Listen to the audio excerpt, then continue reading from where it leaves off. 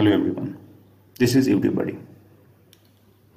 In this video, we are going to discuss about one of the most important and awesome features of TypeScript that is variable types or data type.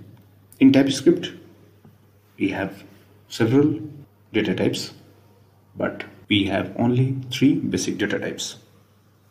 Those are number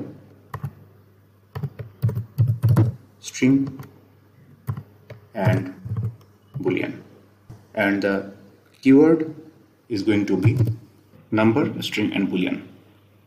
So when we are going to declare our data type we need to use the number string and boolean which is all in lowercase not the uppercase. We need to use the lowercase. First i am declaring one variable without putting any data type for that.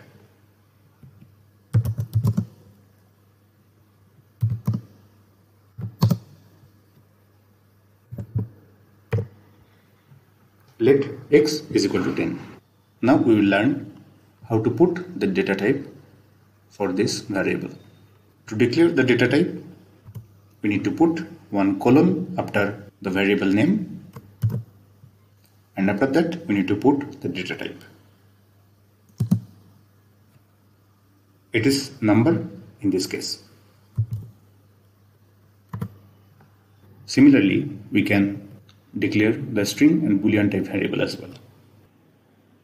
So we have only three basic data types, number, string and boolean. We have other data types as well, but we will discuss about them in our later videos in details. Thank you so much for watching. Please don't forget to subscribe. See you in the next one. Until then, bye bye. Take care.